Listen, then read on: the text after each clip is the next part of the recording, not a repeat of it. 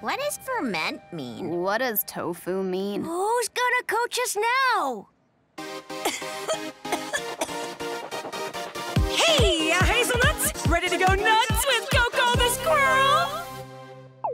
What kind of joke is this?